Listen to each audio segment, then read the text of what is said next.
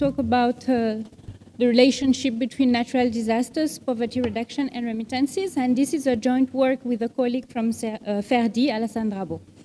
Um, it has been found in the literature that there is a negative relationship between natural disasters and economic growth, but also between natural disasters and poverty. However, uh, there is much less evidence on the role of uh, private mechanisms such as migrants transfer uh, on poverty when natural disasters occur in, in poor countries. So we have few studies uh, these three studies that look at uh, this, uh, this relationship, but we would like to contribute uh, much more and, and fill the, the, the, gap in the literature. So we ask a simple research question. Do private funds, such as uh, remittances, help mitigate poverty in the context of natural disasters? Um, contrary to what the, uh, other papers are doing, because other papers, they take a, a, sample of poor countries and they look at the impact of uh, remittances after the uh, natural disaster occur. What we are going to do is that we take the sample of low and low middle uh, income countries, so these are very poor income countries, and we are going to look at the interaction between natural disasters and remittances on poverty variable, which is much more specific. And we are also um, looking at uh, macro data. Most of the studies uh, were conducted uh, at a country level. So we have a panel of 52 developing countries over 27 years, 1984 to 2010.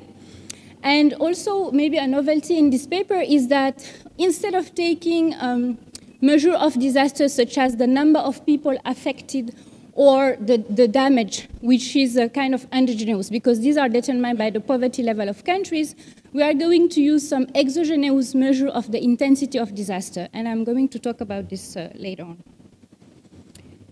So we investigate the, the role of remittances in, in mitigating poverty in, in a context of disasters in a short-term perspective. So we use monetary uh, poverty from the World Development Indicators uh, as our main dependent variable. And we also try to deal with many of the endogeneity issues that we have by using fixed effect models, some alternative estimation, and a GMM model where we um, instrument our endogenous variable by their lagged values. So just to give you a flavor of the result, we found indeed a reducing effect of remittances of, on, uh, on poverty in countries that experience natural disasters. But very interestingly, what we found is that actually remittances decrease even more poverty when natural disasters um, occur in countries. And I'm going to, to uh, detail this later on. So we also run some uh, the, the, analysis by looking at which type of disasters are driving our results, and we found out that the results are mainly driven by storms, hurricane, and extreme temperature events. So the literature, as I said, if we look at the relationship between natural disasters and poverty, um, it has been found for um, people belonging to the, to the middle income, let's say, distribution, that disasters can push these people into poverty uh, by destroying their assets, by eliminating their ability to rebuild their home, or just securing their basic needs. And in, if we look at the poorest, actually, disasters can even push them into a trap, right? So since poor countries, they generally live in, in very unfavorable conditions, they are already uh, in a vulnerable um, situation, so disasters will increase their, their poor economic status. However, it's important to highlight that there are some heterogeneity uh, of the effects of natural disaster on poverty, heterogeneity between the short term and the long term. And there is a very interesting paper by Gignoux and Menendez. And what they do is that they look at the occurrence of earthquake in Indonesia since 1985. And interestingly, they find that after two years, so two years after the earthquake, indeed the disaster would decrease the expenditure, right? The total expenditure, and then disaster have a, a negative effect on, on welfare of household. But then between two and six years, they found out the, that the effect of disasters started to be mitigated. And then from, um, from um, uh, six to 12 years, they found that disasters has a positive effect on the welfare. And it's kind of very um, puzzling, but the way they explain it is, is that in the long term, the country has benefited from lots of public aid and good institution. And then the aid were very well managed, and then the, the negative effect, the primary negative effect of disasters were, were turned out to be, to be positive in the long term. So as I said, that's why we really pay attention here and we only focus on the effect of disasters and remittances on poverty in the short term. Um, so, I mean, there is a large body of the literature that look at the impact of remittances, and in general, not only looking at remittances after natural disasters, it has been found that remittances indeed um, reduce poverty through uh, accumulation of human capital and physical capital, uh, also by reducing income inequalities and by increasing consumption. And when it comes to the specific case of disasters, it has been found that if households benefit from insurance mechanisms such as migrant transfer, this helps them um, uh, increase their level of resilience in the aftermath of, uh, of shocks. Maybe here, because I thought I would not have uh, time, but I can just elaborate a bit more. It has also, so most of these studies were conducted uh, as I said, at a country level, right? And there is a one study that was conducted at a macro level. It's a study by Young, 2008, when he looks at um, rainfall shocks, and he found the same thing, basically. But this is the only macro study. So, as I said, we use data from six, uh, 60, 52 low and low middle income countries. So this is the panel data. We look at uh, uh, from the data from 1984 to 2010.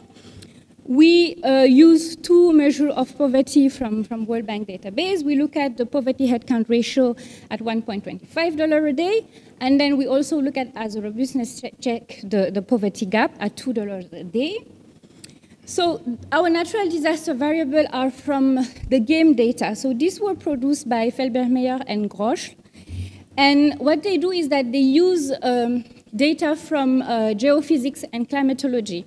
And they assess the intensity, what, what we can call exogenous measure of intensity of disaster. Exogenous because this is not like the number of people who were injured or who died or the damage caused. Because, uh, and I'll talk about this um, when I will discuss the 190, this is very, um, this is impacted by the poverty level of countries, right? So we use first uh, the disaster index, the aggregated disaster index, and then the disaggregated measure. So we have first the wind speed. So this is the maximum uh, wind speed in, in, knots for storms and hurricane. And then uh, we use a measure of temperature, I haven't mentioned, but a measure of temperature, which is the difference between um, the maximum monthly temperature and the mean over the period. We also use a measure uh, for drought, so it's a dummy equal to one if in a country there is three successive months or five months in a year where the rainfall level is below 50% uh, compared to the mean over the period. Um, there is a measure of, um, for earthquake, so it's the maximum on the Richter, Richter, Richter scale. And we also use uh, the maximum uh, for um, of volcanic explosivity index for volcanic eruptions. So our remittance variable represents the transfer received in the countries over the period, and we control for uh, various country characteristics. So we control for the quality of the institution through a measure for democratic or autocratic countries. We also control for population variable, total population and population density. Uh, we control for urbanization rate, which also capture internal migration. Uh, and we control for uh, the growth rate of uh, real GDP per capita, which uh, capture economic factors such as uh, unemployment and quantity and quality of, of infrastructure.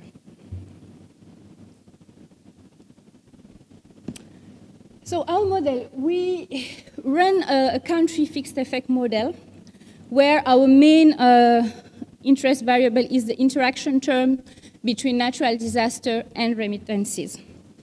Um, we also add that disaster and remittances separately, and we add our control variables with one, one year lagged, because we assume that all of these variables are very endogenous, and it will be um, better to take one year lag, which makes them a bit more exogenous, right? Because they are affected by poverty as well.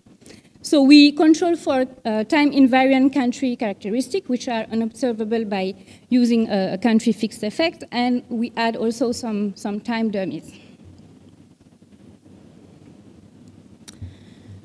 About the endogeneity, we have many issues of endogeneity. So as I mentioned in the beginning, the first one um, is the potential measurement error of the number of intensity. Uh, um, or intensity of natural disaster due to misreporting or, uh, you know, maybe sometimes uh, government can inflate numbers for aid purpose and so on.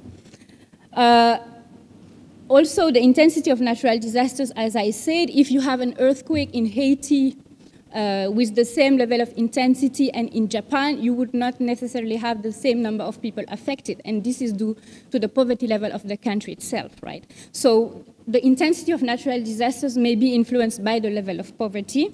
And then that's why uh, using uh, uh, an exogenous measure of disaster is, is very important in here. And maybe more seriously, it's the endogeneity of remittances. Ideally, we would have an instrumental variable which would affect uh, poverty only through its effect on on remittances, but we have not found it. So if you have ideas, they are very welcome. Uh, so what we do is that we, we try to, to manage this and try to run a series, a series of robustness tests. So just to explain maybe why we have an endogeneity issue, first of all, there is likely a reverse causality. So the amount of remittances received can also be explained by the level of poverty of a country. That's the first thing. Second, Poverty determines the location or even the migration choice, and then the future receipt of remittances. It's very likely that poor people live in areas prone to disasters, for example, right? Or maybe they are uh, too poor, so they cannot afford migration costs, and even if this area is very prone to disaster, they might want to leave, but they cannot. So we have to deal with this kind of, uh, kind of issues. So the solution we find to mitigate the absence of instruments is that first we consider uh, our measure of remittances, the logarithm of remittances received one year before with a, um, at minus one, so with one year lagged, instead of using a, a, contemporaneous measure of remittances, because it's very likely that the remittances that you receive in t minus one will affect your poverty in t, but the, the reverse is, is very unlikely. That's the first thing. The second thing is that we, we run a, a GMM model and we instrument our endogenous variables by their lagged values. We also control in our regression for time fixed effect, I said it, and we use disasters not, and remittances not only for t, but t minus one in the same regression. So to capture some kind of ex ante effect of, of remittances in, in, in helping household build resilience. I don't know if you see something. so it's pretty small. Um, the, in the first two columns, we just run the plain regression. So the first column, we just look at the correlation between the interaction between remittances and disasters, and disasters and, and remittances without country fixed effect, without time fixed effect, just a random effect. And we find out that the interaction term is negative and significant, meaning that indeed when a disaster occurs, uh, remittances help mitigate its effect on poverty. Disaster is positive, uh, suggesting that it, it the, the, poverty level of countries, and remittances uh, um, is negative. So we add our control variables, and our results are, are robust to, to the, to the um, addition of these control variables. And then we run the country fixed effect. So we control now for unobservable time invariance country characteristics in, in column four, and the result hold. We add the controls, and our benchmark is the, the, the last regression, the, the column five, where we control for both country fixed effect and time fixed effect. And you can see that the interaction term between remittances and disaster is still negative and significant, disaster has the positive and significant sign. However, although remittances is negative, it lost its significance. So we have to be careful here because it doesn't mean that remittances do not have an effect anymore on poverty level. However, because this um, non-significant of remittances should be interpreted with the interaction term.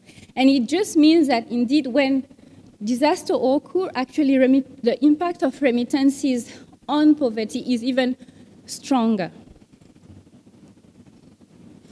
Just to interpret the magnitude, so for countries experiencing, experiencing an increase in the disaster index by 1% and receiving the average logarithm of remittances uh, in the sample, the poverty headcount ratio at $1.25 a day is expected to decrease by 1.15. And just we take the coefficient associated with the disaster index minus the coefficient associated with the interaction term times the uh, average of logarithm remittances. So now we disaggregate the disaster index and we look at what drive our result, right? So we look at disaster by disaster. So you can find, you can see that for all of our disaster, the interaction term is negative. However, the effect is only significant for wind speed, so storms and hurricane, the measure of storms and hurricane, and temperature, so the difference in, in uh, extreme temperature events, and drought, suggesting that our results are driven by these three types of disasters. We start the series of robustness check where we control in our regression both for remittances and disasters, not only at t, but at t minus one with one year lag. Um, and we we have the, the robust are, are still the results sorry are still robust and they are mainly driven by wind speed temperature and drought however when we so we don't use anymore remittances at t but the lagged value of remittances which is supposed to be more exogenous than remittances measured at t we found out that our result for the aggregated measure still holds for wind speed and temperature however uh, drought lost its, uh, lost its significance. So if we want to be more conservative, we would say that our results are mainly driven by storms and, and um, hurricanes and uh, extreme temperature events. Um, so here we just run uh, the GMM estimation model, and um, again, it's the same, and drought is not significant either. Um, and we change here the, dependent variable. Instead of using uh, the poverty headcount ratio, we, uh, we use the poverty gap at $2 a day, which measure more the, the incidence and, and the depth of poverty. And we pretty much found, uh, found the same results as well. So what can we take from this? So private funds, indeed, such as remittances, reduce poverty in the context of, of disasters, but interestingly, remittances also have an ex ante role uh, by helping households build their resilience to shock. Um, social networks and migrants, uh, in, in particular, are very important channels for countries, um, which, can, um, which can use them to deal with adverse, adverse effects of shock. And just to compare with the results by Gignoux and Menendez, which show that public aid uh, could indeed help mitigate and even produce some positive effect on welfare, private funds can be used immediately after the shock. You know, public aid, they take time to be organized and so on, and may reach communities much later on. Whereas when it comes to remittances or migrant transfer or private insurance mechanism, when a shock happens, you, just, you can just send an SMS or call and say, you know, I have, there is an adverse shock here, I, I need some help and, and assistance. However, um, and I haven't mentioned this, but it, it's very important, and that would be the follow-up, to look at also effect on inequalities. Because what happened to people who do not receive remittances and who live maybe in very poor countries where governments are, um, uh, cannot really, you know, um, help or the, the, help would be limited. Because we know that maybe um, most of the migrants belong to the middle income distribution. And for these people, so the receipt of remittances can be positive, but it can also have some negative effect on inequalities for people who do not receive it. So we may want also to, to look at that in, in future research. And finally, so it's also very important to, to be able to combine both private mechanism and public mechanism um, in the aftermath of, uh, of shocks. And of course, I mean, this uh, has been said again and again, but I repeat it here, that would be also important to reduce the cost of sending remittances. Uh, it will overall have an impact on the amount that, that people, uh, people will receive after the shock. Yeah, thank you.